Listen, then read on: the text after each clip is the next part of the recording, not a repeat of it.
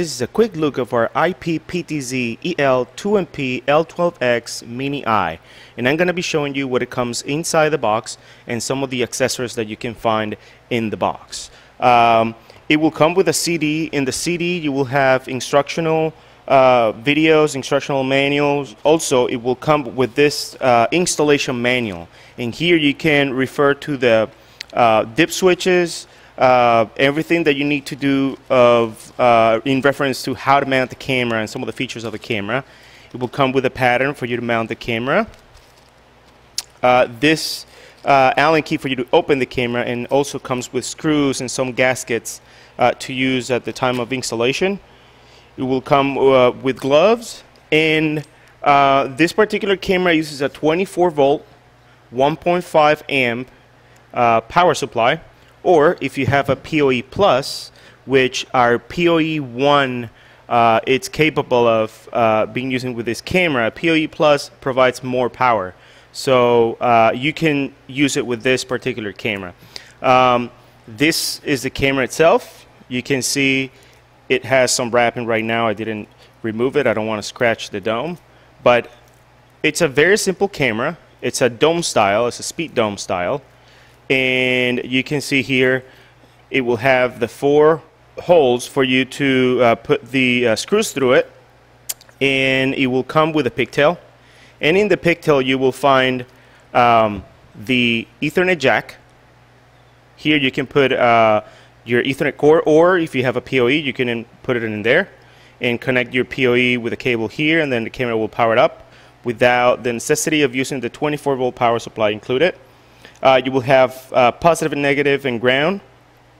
And everything is properly labeled. Also, this camera supports alarm, and you will have um, all of uh, the you know wire colors and color code in, in regards of that. And also, you can connect a microphone. So uh, I'm gonna give you a quick look of the inside. So you will have to do this uh, before you install it. So do not turn it on when you install a camera.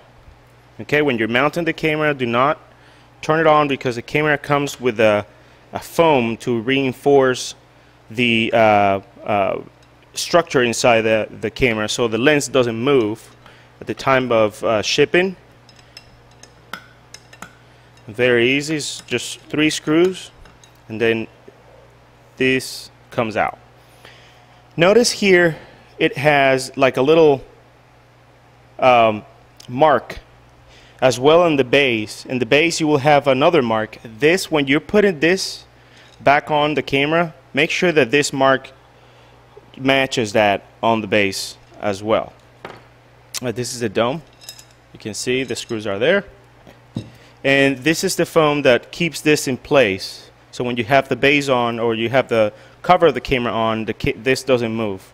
Um, here's the camera itself. This camera supports uh, SD, micro SD card, so you can insert right there. Class 4 up to 32 gigabytes. So you can record footage to itself. Uh, you will have the, the blower, the heater and blower there. And these are the general stuff, you know, the general components of a camera, but it's very easy to install. It's very easy to use. You'll need to take that uh, dome off for you to install it, and there you can see the uh, installation holes over there. And it's very easy to, to install. It's a very cool camera. It provides you a crisp picture. It's awesome. Uh, make sure that I have this correctly. And also it has a gasket on it, just so you know. Just to make sure it's white so it's very easy to, to miss. But it is there. Make sure that it's there at the time of uh, the installation so water doesn't get in in the camera. Okay? I'm just going to set it in there in the meantime. Uh, this camera has a third inch 2 megapixel Sony Exmor CMOS. So it provides you a great quality picture. The lens is uh, 5.1 millimeter to 61.2 millimeter. So you can zoom in very far and then you can zoom out and get a great detail, you know, get a, a, a great white image uh, while you're doing that. It supports up to 2 megapixels, so it's 1080p. It can go also to 720p or D1. Is uh, ONVIF, so if you have uh, product that supports ONVIF compatibility or ONVIF protocol, you can use this camera with. And uh, once again, it supports PoE 1 or PoE Plus, I'm sorry. Uh, you can power this up with a PoE Plus device.